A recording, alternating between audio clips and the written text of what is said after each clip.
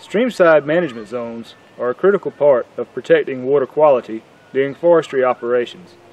The Streamside Management Zone, or SMZ, buffers against sediment and nutrients, helps maintain water temperature, provides aquatic habitat, and stabilizes stream banks. Buffers can also provide benefits for wildlife, recreation, and scenic quality. Protecting a streamside management zone means more than just leaving a buffer along a waterway. The SMZ is designed to work with other best management practices. It should be just one part of a comprehensive plan to protect water quality.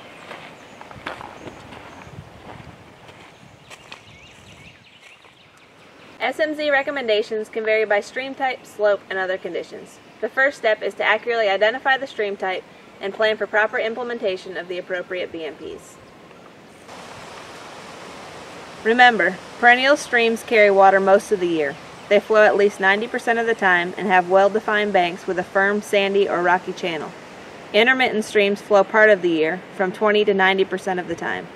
There will often be a fine layer of silt in the stream channel. Ephemeral streams flow in response to precipitation, usually less than 20% of the time. Ephemeral streams may have roots, leaves, and even vegetation in the channel. There are also special situations such as trout waters, braided streams, ditches, canals, gullies, and beaver ponds that have different requirements. Be sure to contact your local BMP forester anytime you have questions about stream identification or how to handle special conditions.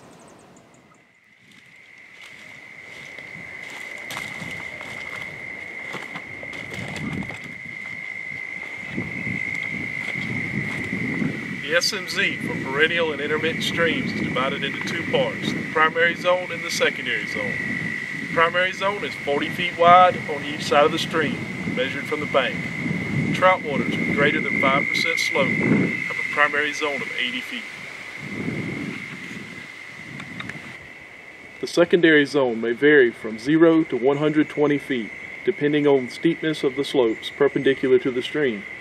Ephemeral streams do not have a designated SMZ, but there are other BMPs for their protection.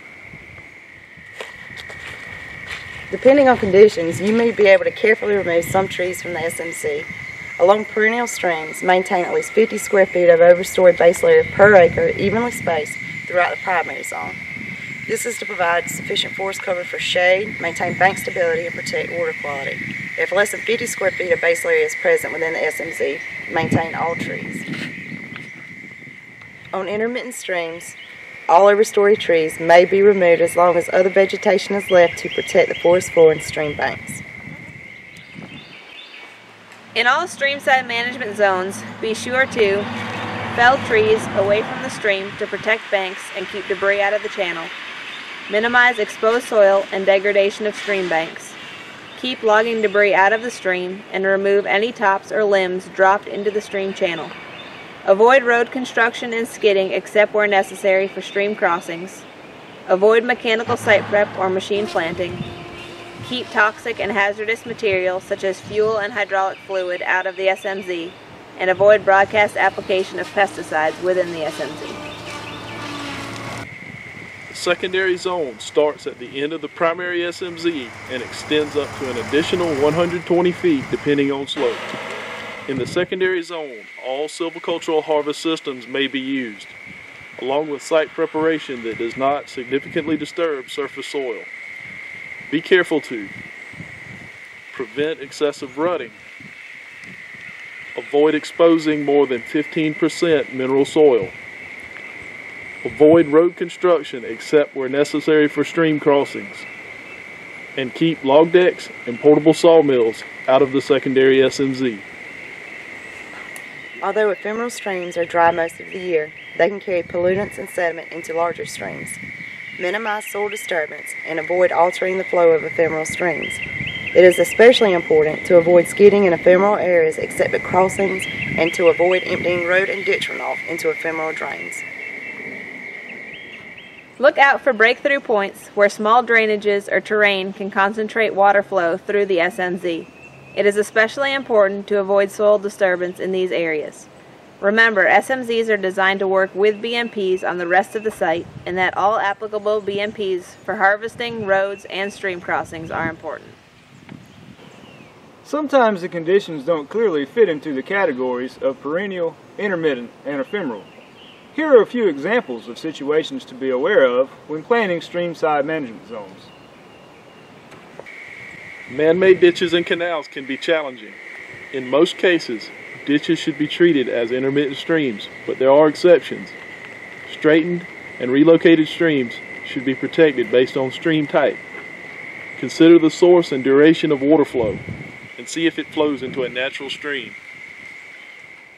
Ponds that hold water most of the year and are connected to natural streams are perennial water bodies that require a streamside management zone. Beaver ponds are also perennial water bodies, even when they are found on intermittent streams.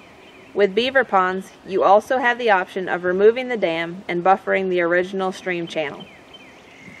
River bottoms often have a variety of sloughs, side channels, and other floodplain features.